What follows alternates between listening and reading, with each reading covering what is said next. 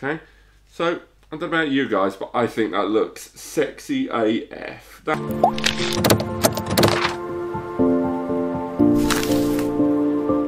Hey guys and welcome back and today I want to talk about a fancy frou-frou hard drive. I want to talk about my new Seagate Ultra Touch external hard drive. I don't know if you saw it in my other videos but I know I'm going to be going to Computex in a couple of months and I hope you guys are going to follow me when I'm there. I'm going to be visiting all the NAS and DAS brands and all that but put that to one side.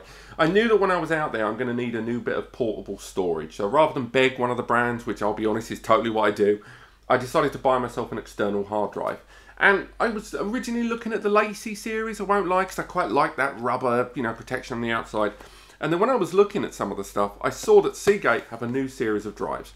These are fabric covered drives. And I won't lie, I am a big, big wuss when it comes to these sort of things. And I caved. I love the idea of a hard drive covered in fabric. So in this video, what I'm going to do is give you a real a real close-up unboxing of this product I'm going to take with me. Now this is available now for about 50 quid uh, from the guys at Span. It's one terabyte of storage. There's a 2 TB version available for about 70 quid, but I didn't think I'd need that much.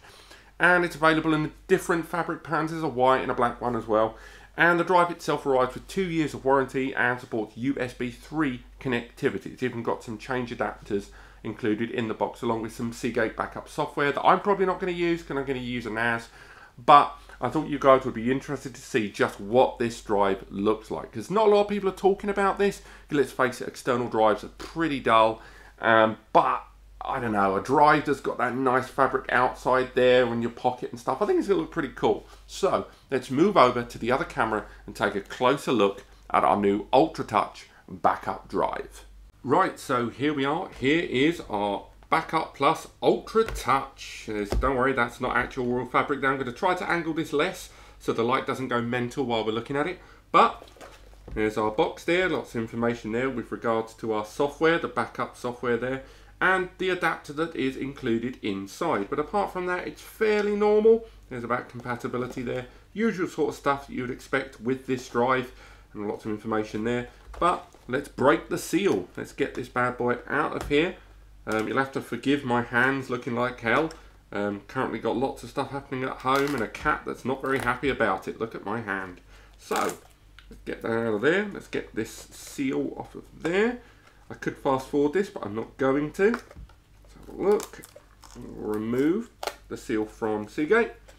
Take a look at our drive. Right, so what do we get with our drive? Get that out of there. And wallop there's the box. If you guys are done with that get rid of that. Ultratouch backup software there. Just going to mention some information about the drive. First time installation guide there. Again if you've never had one of these drives before that is a lot of information. Uh, on top of that we've got the Adobe Creative Photo Plan. Again I think this is to do with cloud services and synchronization with Mac based devices. Top of that warranty information information I don't not 100% certain about if you want to create your own code for the device and the Mylio Create. And again, not too sure what this is, but it's something that's included with the drive. Let's be honest, what we're interested in is the contents of this. This is what we want to see, don't we? Let's get that out of there. Let's see if it's going to be as difficult as it looks like it might be. Get that there. Doesn't help I'm leaning over a camera, of course. And what we'll do is we'll save opening the drive till last, obviously. But we'll pop that there. Inside, quite interesting, we have a USB-C to USB-A adapter for USB 3. That's going to be quite handy. It'll be interesting to test what happens if I connect this drive to my phone actually. Probably nothing, but it's worth a go. Might try that off camera. And on top of that, move that from there. And here is our USB cable. And again, that uses that flatter, more enterprise level SSD connection there. And this is the one that utilizes USB mini with the extra power functionality built into it. So again, USB-A for the other end of the connection and that one there for the drive. Again, if you do want to, if you're using USB-C port, of course you can connect those in there and wallop, you have a USB-C drive. And once again, I will try and send, try this out on my phone, maybe either off camera or I'll do it at the end of the video. Pop that there. But now we want to look at this. Right, let's have a look at this drive. Okay, let's have a good listen there. Bring that up to the mic. Okay, so I don't know about you guys, but I think that looks sexy AF. That is a nice looking drive. It's not a big drive either. The fabric isn't all the way around. That disappoints me a little bit. Don't get me wrong, if it's on my table, it's going to look all right, but I'm a little disappointed that fabric isn't all the way around. Um, the connection, as we've already mentioned, is that one, that USB-B mini there. Let me have a look there, move all the way around. It is nice. Oh, I do like the feel of this drive. Right, now this drive itself, again, is a terabyte in storage. For an extra 20 quid, getting the 2 terabyte did seem like something I could have done, but I didn't bother with. But what I will say about this drive straight away is that does add to grip. It does feel a lot more grippable. One of my biggest problems I always had with Seagate's range of external drives is, unlike a number of other brands, they didn't feel very grippable. They were trying to make them as small as possible and it made them very droppable. But at least this disc doesn't seem to have that problem. What I'm going to do now is I'm going to quickly test this out by connecting it to another device and to see what happens. So the next part of the video, I thought it would be interesting to move it over to my mobile phone, largely because although you know if I'm going to connect this external drive to my PC uh, that I've got here over USB-A or USB-C, I wanted to show you guys what happens when you connect this drive via USB Type-C. I'm using a Nexus uh, not a Nexus, what am I saying? It's the uh, Pixel 2 XL, which features a USB um, C port and I've got the drive. I've not connected it before and I'm going to connect it now to see what happens live. I've connected that drive there and we're going to see what my phone does upon connection of this drive. I can tell you right now that the SSD I'm sorry the external hard drive has spun up. The lights are on. It is being powered by my mobile and straight away at the top of the device I can see we have an option. Issue with Seagate USB drive tap to fix so the drive needs to be formatted. So let's format the drive.